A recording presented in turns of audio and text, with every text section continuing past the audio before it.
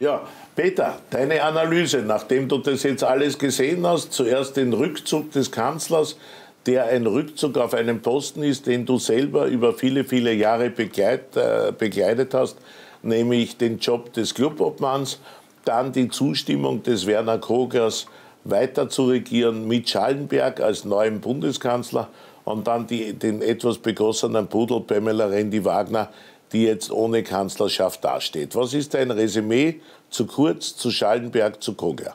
Ja, mein Resümee ist ein bisschen anderes als deines, lieber Wolfgang, denn äh, du hast jemanden vergessen, der größte Verlierer des heutigen Abends heißt August Würginger, weil der ist sein Job als Clubobmann los. Ähm, das ist einmal unbestritten, außer er wird vielleicht geschäftsführender Clubobmann und sie lassen sich irgendeine Konstellation einfahren. Aber jetzt weiß ich, warum der Gust Würginger die letzten Tage schon so unleidlich war, weil das hat sich schon abgezeichnet. Aber Spaß beiseite. Was heute passiert ist, ist eine Politkomödie, äh, Chauner Schaube. Das ist die rot-weiß-rote Chauner-Komödie, die sich da abspielt, denn äh, das ist eine Farce, dieser heutige Rücktritt. Eine richtige Farce, denn äh, Kanzler Kurz bleibt Kanzler. Er hat halt nur seinen Sekretär jetzt dort sitzen, der als seine Marionette seine Befehle dort befolgen wird und hat sich halt äh, zwar offiziell aus dem Kanzleramt zurückgezogen, bleibt aber auch offiziell der Leader, der Minimo-Leader der ÖVP äh, und wird als Parteiobmann und Clubobmann dort die Fäden ziehen. Äh, das ist komödiantenhaft, das ist nicht ernst zu nehmen. Die ÖVP hat einen Parteiobmann, der schwer angeschlagen ist, den der Staatsanwalt nachläuft. Also das muss der ÖVP mit sich klären. Aber sei es drum. Und ich sehe auch den Werner Kogler nicht als Gewinner, sondern Werner Kogler ist einer der Verlierer heute. Denn der muss zwar nicht mehr mit Sebastian Kurz, aber mit seinem System regieren. Denn die Bonellis, Fleischmanns und wie sie alle heißen, die da jetzt zum Staatsanwalt gejagt werden, plus die Regierungstruppe, die Türkise, sitzt dem Kogler jetzt vis-à-vis. -vis. Und äh, wir können uns darauf verlassen, dass ein, ein einziges Wort für diese Truppe äh, jetzt gegenüber den Kogler im Vordergrund steht, nämlich Rache. Der Kogler wird das spüren. Wir werden in unsichere Zeiten gehen. Diese Regierung kann nicht mehr miteinander, nach dem, was vorgefallen ist. Und das wird also sehr, sehr spannend werden. Äh, ich sehe aber auch nicht Randy Wagen als die große Verliererin. Äh, natürlich äh, hat sie hier einen Schatten übersprungen, der von der Wranitzky-Doktrin ausgegangen ist, nicht mehr nicht mit der FPÖ zu sprechen. Aber mit Verlaub, wir leben in einer Demokratie. Und in einer Demokratie äh, muss jeder mit jedem sprechen können und muss jeder mit jedem zusammenarbeiten können, der vom Volk ins Parlament gewählt worden ist. Und daher habe ich einen Respekt vor dem, was Randy Wagner zumindest versucht hat und auch vor dem, was Werner Kogler versucht hat, nämlich äh, demokratische Normalität einkehren zu lassen. Und für mich ist der große Gewinner des heutigen Tages natürlich Herbert Kickl, weil es sich gezeigt hat in der Realpolitik, wenn es darauf ankommt, dann tanzen Grün und Rot bei Herbert Kickl an, um mit ihm gemeinsam eine Regierung zu bilden. Wunderbar. Was Besseres kann dem Herbert Kickl nicht passieren. Die FPÖ und Herbert Kickl ist sozusagen ins Gravitationszentrum der Politik zurückgeholt worden. Und die Bevölkerung hat jetzt miterlebt in dieser Ausnahmezeit, dass die Freiheitliche Partei eine wesentliche Rolle in dieser politischen Situation spielt. Und daher zählt er zu den Gewinnern des heutigen Tages. Ja, äh, Peter, ich bewundere immer deine blaue Liebe-Lungentreue, selbst in schwierigsten Zeiten. Ja, das zeichnet dich und deinen Charakter aus, dass du den Glauben an das Gute in der blauen Partei, sprich in der FPÖ, auch noch weiß ich, wie viele Pleiten, noch immer nicht aufgibst. Aber kannst du mir erklären, warum der Herbert Kickel Gewinner ist, wenn er im anderen Fall der entscheidende Faktor einer Vier-Parteien-Konzentrationsregierung gewesen wäre oder der entscheidende Faktor, um Sebastian Kurz mit einem Misstrauensvotum aus dem Parlament zu jagen oder der entscheidende Faktor für Neuwahlen. Jetzt sitzt er zu Hause und kann Krähen reiben.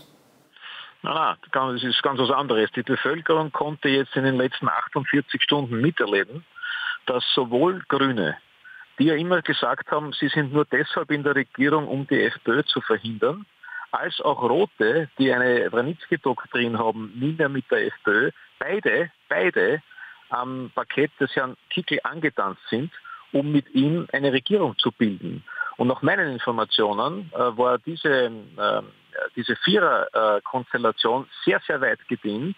Ich bin mir sicher, sie wäre zustande gekommen. Und das hat auch Sebastian Kurz äh, überrissen. Und deswegen hat er den heutigen Schritt gewählt, zur Seite zu treten. Er ist er nicht zurückgetreten, sondern er ist zur Seite getreten. Er hat das gemerkt, wenn er jetzt nichts tut, dann ist er weg. Und zwar die ganze ÖVP in der Opposition, weil diese Viererkonstellation sehr, sehr weit gediegen war und weil sie zustande gekommen wäre. Und das ist der große Erfolg des Herbert Kickl, dass die Bevölkerung heute weiß, wenn es darauf ankommt, ist ohne der FPÖ kein Staat zu machen. Und das ist das, was der Herbert Kickl, der kann halt feiern, der kann eine Flaschen aufmachen, weil Grün und Rot beide ihre, ihre Doktrin, die sie über Jahre und Jahrzehnte hatten, über Bord geworfen haben, wenn es darum geht, äh, sozusagen an der Macht zu bleiben oder an die Macht zu kommen. Für mich ist das ja politische Normalität. Aber die Bevölkerung hat jetzt gemerkt, die FPÖ ist im Zentrum der Politik nach wie vor und nicht wegzudenken.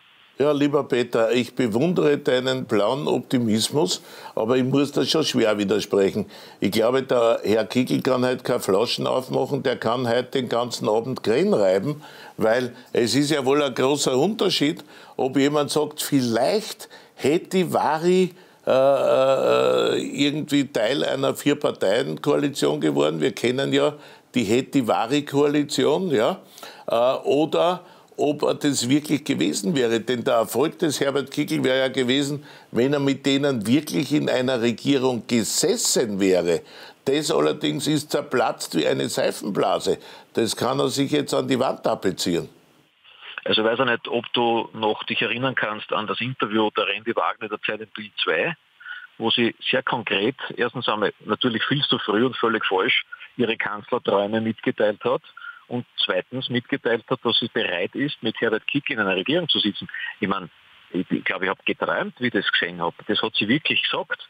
Äh, und ich bin, bin fest davon überzeugt, dafür wird sie in den nächsten Wochen von der eigenen Partei noch an die Wand genagelt werden. Ebenso Kogler. Kogler, der seit zwei Jahren durch Österreich läuft und sagt, ich bin nur in die Regierung gegangen, um die FPÖ zu verhindern trifft sich mit Herbert Kickl zum Parlieren über eine Regierungszusammenarbeit. Lieber Wolfgang, da sind Tabus, politische, innenpolitische Tabus von Grün und Rot gebrochen worden, die natürlich den Herbert Kickl insofern nutzen, weil die Bevölkerung erstmal sieht, dass wir in einer Demokratie leben, wo niemand ausgegrenzt werden kann und soll und wo, wenn es darauf ankommt, selbstverständlich die FPÖ und Herbert Kickl am Regierungstisch sitzen. Das ist die Lehrstunde der letzten 48 Stunden. Nicht eine, ein, eine, eine Verzweiflungstat des Herrn Kurz, der jetzt sein Kanzleramt einer Marionette übergibt, die er vom Parlament aus jetzt äh, befehligt äh, und für die Zukunft in Wahrheit selber am Tisch sitzt, sondern das ist das Entscheidende, was heute in der, in der Innenpolitik in den letzten Tagen und heute passiert ist, dass eine politische Normalität eingekehrt ist und dass jeder Wähler und jeder Österreicher und jeder Österreicher sieht, dass es mit diesen Ansagen niemals mit einer FPÖ seitens Grün und Rot, das kann man vergessen. Und das können sich auch alle FPÖ-Wähler jetzt äh, wie eine Fahne ans, ans, ans Revers stecken. Die FPÖ ist im Zentrum der Politik und das ist der Erfolg des Herbert Kickl, dass er hier äh, es geschafft Peter. hat, diese die FPÖ in die, ins, ins Zentrum der Politik zurückzuholen. Lieber Peter, es ist immer schön mit dir zu streiten, wenn du da in deinen blauen Wunschträumen bist, ja. Aber ich darf noch einmal sagen, es ist ja wohl ein Riesenunterschied, ob Leute über etwas reden, ja, völlig konsequenzlos darüber reden oder ob das dann durchgezogen wird. Und der Herbert Kickl war ganz knapp worden. davor, seinen großen Erfolg zu feiern und in so eine Vier-Parteien-Konzentrationsregierung einzutreten. Und dann wäre er wirklich der Hero gewesen, dann wäre er wirklich sozusagen äh, äh, fast heilig gesprochen gewesen, wenn er da drinnen gesessen wäre. Da hast du völlig recht. Nur das ist zerplatzt. Und insofern ist der Herr Kickel der große Verlierer des Tages, weil das kurz vor der Realisierung geplatzt ist. Und das mag zwar ganz richtig sein, und da hast du völlig recht, dass die Pamela Rendi-Wagner hier eine rote Parteidoktrin auf den Müllhaufen äh, geworfen hat und dass der Herr Kogler äh, seine Basis da sprachlos hinterlassen hat. Aber letztendlich steht fest, es hat nicht funktioniert. Es findet nicht statt. Und damit ist der Herr Kickel der Verlierer. Punkt. Das kannst drehen und wenden, wie du willst. Also, äh, um, äh, ich weiß schon, du musst ja da immer für die ÖVP äh, auch, auch viel Stimmung machen. Das stimmt halt einfach nicht. Stimmung machen musst dann du für die FPÖ, bitte, ja, lieber der Peter. Ich kann halt nicht Verlierer sein. Der größte Verlierer ist halt der Herr Wöginger, der sein Club Obmann verliert. Der zweite Verlierer ist in Wahrheit der Herr Kurz, der sein Kanzleramt aufgeben musste. Und der dritte Verlierer sind Grün und Rot, weil sie ihre grundsätzlichen Doktrinen über Bord geworfen haben. Dann bleibt nur mehr ein Gewinner über, das ist ja der Herbert Kick. Es tut mir leid, es ist so. Und du müsstest dich eigentlich als Journalist ähm, da, äh, verständigen darüber, Und ich weiß das, und das weißt du auch, es wäre diese Viererkoalition zustande gekommen. Die wäre am Montag fertig gewesen. Man hätte sich geeinigt. Und das hat Kurz überrissen. Kurz hat das gewusst.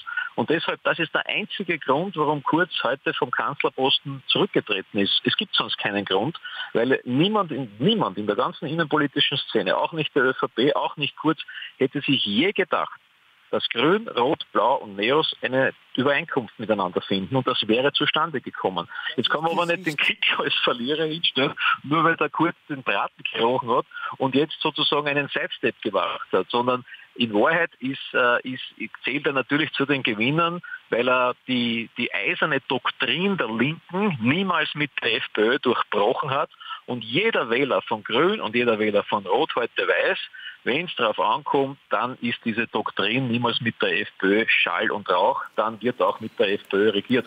Und das ist für mich das, was ich aus dem heutigen Tag mitnehme.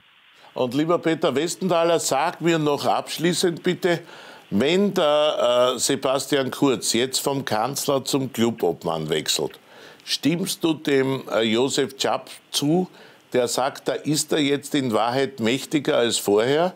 Da nimmt er jetzt an den Ministerratsvorbesprechungen am Ministerrat teil.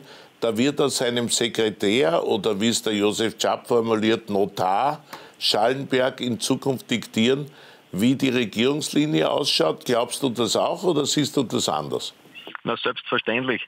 Der Schallenberg ist jetzt die Kanzlermarionette des Herrn Kurz. Der Herr Kurz ist Schattenkanzler, der aus dem Parlament äh, und aus dem Posten des Parteivorsitzes nach wie vor die Fäden zieht. Da hat sich nichts geändert. Und das ist auch die große Niederlage von Werner Kogler. Denn der muss jetzt mit dieser Truppe weiter regieren. Und ich freue mich schon auf die nächsten Wochen und Monate, wo man sehen wird, ich glaube gar nicht Monate. Diese Regierung ist gescheitert. Sie wird sich nicht mehr erfangen, weil ich kenne die ÖVP und ich weiß, wie sie tickt und ich weiß, dass das große, das große Ganze, das die Partei zusammenhält, ist die Rache an Werner Kogler. Die machen dem Werner Kogler jetzt das Leben sehr, sehr schwer und der braucht jetzt starke Nerven, dass er das überhaupt überlebt. Die werden sich jetzt äh, zusammenraufen äh, sozusagen und werden durch kurz geleitet aus dem Parlament überhaupt sich nichts ändern. Die werden ihre Linie durchziehen. Und die, die da jetzt alle bald vor dem Kade stehen und die da mit, mit, mit, mit äh, schweren Vorwürfen konfrontiert sind, die bleiben dort, wo sie sind.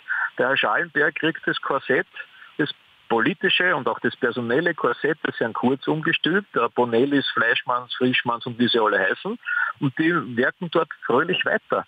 Und das ist eigentlich die Schande des heutigen Tages, dass eine ÖVP nicht äh, zur Besinnung kommt, dass es nicht sein kann, dass jemand gegen den solche schweren Vorwürfe am Tisch legen, und ich spreche nicht von der strafrechtlichen Relevanz, sondern ich spreche von der politischen Relevanz.